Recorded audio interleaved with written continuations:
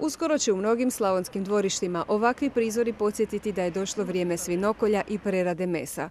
Tradicionalno, dio svježeg mesa, poput lopatica, rebara i kobasica, bit će pripremljen za sušenje u pušnicama, u kojima će ga se oplemeniti aromom dima.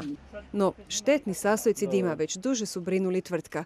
Želeći biti siguran da unucima servira što zdraviju hranu, odlučio se izgraditi prototip pušnice za hladno dimljenje u kojoj se katran, čađ i druge štetne tvari hvataju za filter od kamena. Radi se o tome da po tradiciji, nažalost, se previše e, toga štetnoga uhvatilo za sušeno meso i bilo je ozbiljnih zdravstvenih problema kroz generacije.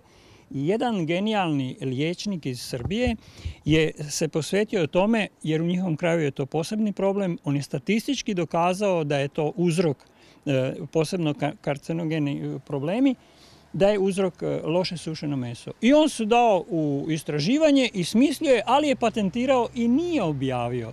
A ovo što sam ja pokupio i nekako skrpio u jednu cijelinu e, je sa nekoliko različitih podataka o pušnicama i ono što je najvažnije u ovom, ovoj pušnici, u ovoj izvedbi je filter koji omogućuje maksimalno uklanjanje baš tih štetnih sastojaka iz dima a to su prije svega katrani i koje kakvi drugi štetni spojevi. Princip rada pušnice počinje od ložišta koje je izdvojeno. Tako vrući zrak ne ide izravno na meso, pa se ovaj način naziva hladnim dimljenjem. Loženje je početak svega, a kako funkcionira ova neobična pušnica objašnjava tvrtko koji već dvije godine ovako suši meso. Ložište izolirano je keramikom, odnosno šamotom, Na putu dima je ovdje jedan regulator da se dim može pružiti kao kroz neki dimnjak sasvim slobodno van prije nego što krene na meso. I kada se postigne dovoljna vatra i dovoljna količina dima, to se zatvara i onda dim ulazi u prostor za dimljenje. Na put dima stavlja se jako važna stvar, to je na neki način srce pušnice, a to je filter koji se sastoji od krupnog šljunka i opranog šljunka i sav dim prolazi kroz njega i za njega, za njegovu veliku površinu hvata se i ne onemogućava da to ide na meso. Osim toga zaustavlja se i čađa i sitne čestice pepela. Dolazi čisti, hladni dim koji daje onaj željeni efekat mesu koje e, e, dimimo. U šljunku je dakle ključ, kaže tvrtko i pokazuje što kamen apsorbira, a inače bi završilo na tanjuru. Ovo nije prirodna boja šljunka, to vidimo i sami. To je boja šljunka koji je već bio u korištenju, ali sam ga ja namjerno više istraživanja radi temeljito oprao, kuhao u deterđentu i velike količine tog tih štetnih sastojaka su sišle dole, ali trajno je ostao taj šljunak obojan onim sastojcima zbog kojih on u filtru i služi.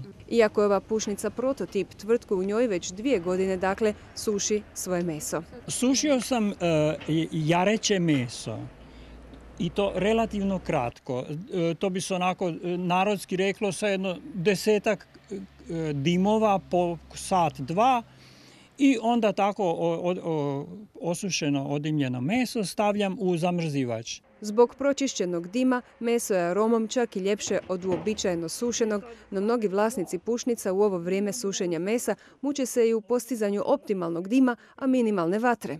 Mora se paziti da vatra ne bude prejaka, a drugo da ima dovoljno dima. Kako se to postiže? Ja ću se još vratiti samo na vrstu drveta. Drva, drva trebaju biti ona koja daju najbolju aromu e, mesu, a to su prije svega bukva, grab, eventualno hrast, a nikakvo crnogorično drveće.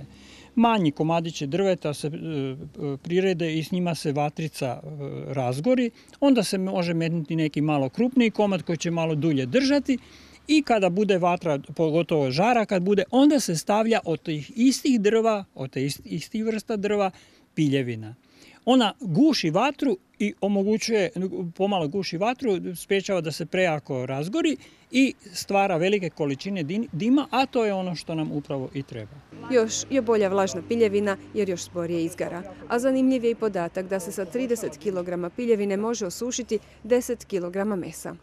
Kad se sjetimo što je iz dima ostalo na kamenu, možda bi ovaj izum mnogi mogli sad poželjeti i u vlastitome dvorištu.